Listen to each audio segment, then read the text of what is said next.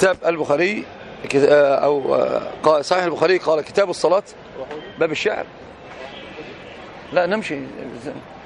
قال باب الشعر, باب الشعر في المسجد.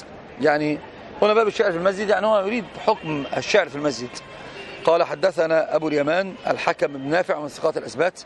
قال حدثنا شعيب. هذه معروفة الحكم بن نافع يعني شيخه الملازم شعيب. شعيب بن أبي حمزة بن دينار القرشي الأموي الثقة السبت الأمين. قال عن الزهري والزهري أمير المؤمنين في الحديث. قال الزهري أخبرنا أبو سلمة بن عبد الرحمن بن عوف وهو في قول من الفقهاء السبعة. كان تقيا نقيا حافظا وضاع عليه علم كثير بسبب المجادلة بن عباس هو قال عن نفسه ذلك. أنه سمع سمع حسان بن أنه سمع حسان بن ثابت.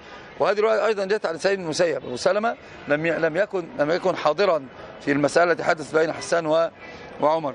أنه سمع حسان بن ثابت الأنصاري يستشهد أبا هريرة أنشدك الله هل سمعت النبي صلى الله عليه وسلم يقول يا حسان أجب عن رسول الله صلى الله عليه وسلم؟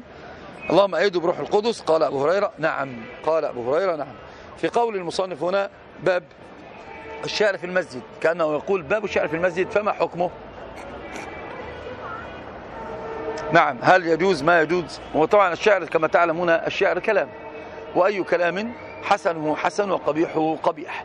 والشعر قد نرى أن النبي سمع الشعر وطلب الشعر ولكن لم يكن شاعرا ولم يقل بالشعر وأما في قول الله جل وعلا والشعراء يتبعون الغاوون ألم ترى أنهم في كل واد يهيمون وأنهم يقولون ما لا يفعلون إلا الذين آمنوا. إلى آخر الآيات. فإذا استثنى الله جل وعلا من هؤلاء الذين ذمهم الله جل في علاه.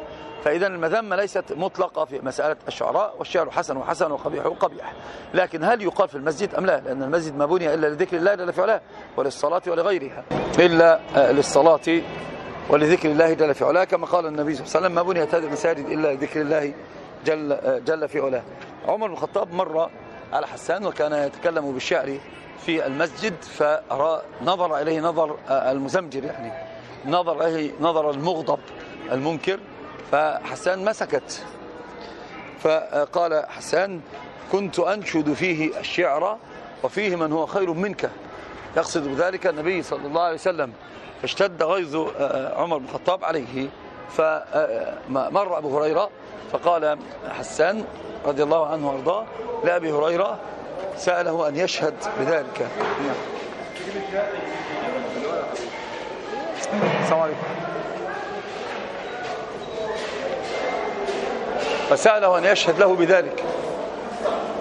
فقال لأبي هريرة رضي الله عنه وأرضاه أنشدك الله وشدد عليه أنشدك الله. أنت سمعت رسول الله صلى الله عليه وسلم يقول أجب عن رسول الله. وقال اللهم أيد بروح القدس. قال اللهم نعم. هذه فيها كما قلنا أن النبي صلى الله عليه وسلم لما تكلمت قريش وهاجت يعني يعني بالتعدي على النبي صلى الله عليه وسلم. فجاء جاء سلمة بن الأكوع وجاء عبد الله بن رواحة يعني كل منهم يذب عن رسول الله صلى الله عليه وسلم. فجاء الأسد الضارب بذنبه وهو حسان بن ثابت. وأخرج لسانه كأنه يدليه ويقول أن هذا اللسان هو الذي سيدافع عن رسول الله. فقال له النبي صلى الله عليه وسلم اذهب لأبي بكر فهو أعلم الناس بالأنساب. قال سأسل نسبك كالشعر من العجين أو كما قال. فكان حسان رضي الله عنه وارضاه يذب امسك خلي بالك منه. عن رسول الله صلى الله عليه وسلم حتى أنه هو الذي تكلم في حادثة الإفك. يعني هذه من الزلل الذي يقع فيه الأخيار. ورا. إيه؟ آه من الزلل الذي يقع فيه الأخيار. والحمد لله تغمر في بحر حسناته. وأيضا حسان بن ثابت ممن أقيم عليه الحد. جلده النبي صلى الله عليه وسلم. ولما تكلموا عليه أمام عائشة رضي الله عنها وأرضاها وهي عائشة. أمام عائشة رضي الله عنها وأرضاها فإن النبي صلى الله عليه وسلم أمام عائشة رضي الله عنها وأرضاها فوجد ف... ف... فقالت لا ودفعت عنه. وقالت أليس هو القائل؟ وعرضي وعرض أبائي لكم منه وقاء. نعم أو شيء من ذلك في بيت الشعر. لكنها استشهدت بأنه دافع ودافع ونافح عن رسول الله صلى الله عليه وسلم وعن عرض رسول الله صلى الله عليه وسلم وعرفت له فضله مع أنه تكلم في حقها هي يعني هو تكلم في حقها هي ومع ذلك هي سمحته وأخذت منه الفضل على أنه كان يذب عن رسول الله صلى الله عليه وسلم وعن عرض رسول الله صلى الله عليه وسلم بأبي هو وأمي وحسان رضي الله عنه وأرضاه كان أعظم شاعر يدافع عن النبي صلى الله عليه وسلم من شعراء رسول الله صلى الله عليه وسلم. كان شاعر النبي حسان رضي الله عنه وارضاه وكان ذب عن رسول الله صلى الله عليه وسلم. في قوله عن الزهري قال أخبرني قال أخبرني أبو سلمة كذا رواه شعيب وتابعه إسحاق بن راشد عن الزهري أخرجه النسائي ورواه سفيان بن عيينة عن الزهري جاء؟ لا لا. عن الزهري فقال عن سعيد بن مسيب بدل أبي سلمة. وهذا أخرجه أيضا البخاري في بدء الخلق. وتابعه معمر عند مسلم وإبراهيم بن سعد وإسماعيل بن أمية عند النسائي. وهذا من الاختلاف الذي لا يضر لأن الزهري من أصحاب الحديث فالراجح أنه عنده عنهما عن أبي سلمة عن سعيد يعني له شيخان في الحديث أبو سلمة وسعيد بن المسيب فكان يحدث به تارة عن عن أبي سلمة بن عبد الرحمن ويحدث به تارة عن سعيد بن المسيب وهذا من جنس الأحاديث التي يتعقبها الدار على شيخين. يعني كأنه يقول بأن هذه اضطراب. هو ليس باضطراب هو, هو يراجع عليه. نعم. فهذا يستدرج على يستدرك على الدرقطني في الإسناد نظر من وجه آخر وهو على شرط التتبع أيضا. وذلك أن لفظ رواية سعيد بن المسيب مر عمر في المسجد وحسان ينشد. فقال كنت أنشد فيه وفيه من هو خير منك. ثم التفت إلى أبي هريرة فقال أنشدك الله. الحديث. ورواية سعيد لهذه القصة عندهم مرسلة لأن سعيد لم يدرك يعني لم, لم يدرك إلا سنتين من زمن عمر. أنه لم يدرك زمن المرور ولكن يحمل على أن سعيدا سمع ذلك من أبي هريرة رضي الله عنه وأرضاه. أو من حسان. نعم. أو وقع على حسان استشهاد أبي هريرة مرة أخرى لكن حق أنها قصة واحدة.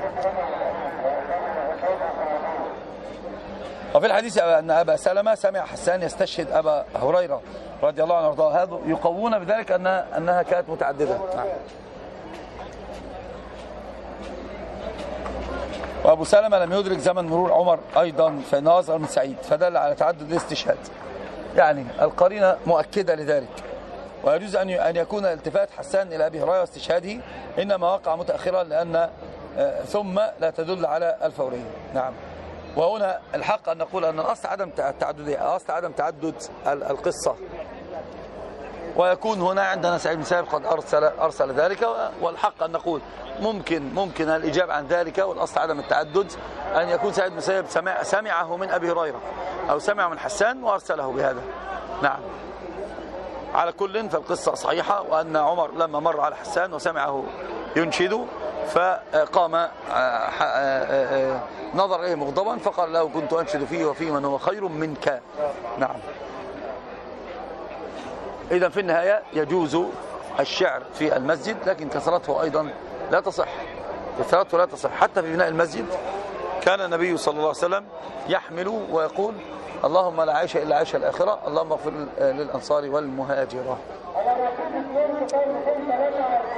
الفوائد. الفوائد المستنبطة. فضل حسان بن ثابت. جواز الإنشاد أو إنشاد الشعر في المسجد. التعضيد بأهل العلم.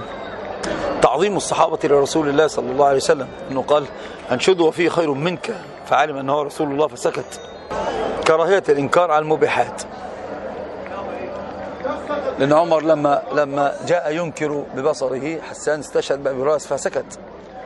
والحق أن أصحابة رسول الله كانوا يتبادحون بقشر البطيخ يرموا بعض به. في المسجد. بهذا قد أتم الله علينا النعمة وانتهت الدروس اليوم من فضل الله جل في علاه. بوركتم وجزاكم الله كل خير. في أسئلة تفضلوا. لا ليس بح... لا ليس ليس بصحيح. هذا كلام العوام إنه يأكل الحسنات وكما. لا ليس بصحيح. هذا كلام ليس بصحيح. العوام هوام نعم العوام هوام الله أكبر. أبر الله بك وأحسن إليك يا أم الأبرار. بوركت أبا جويرية. رفع الله مقامك وأحسن إليك.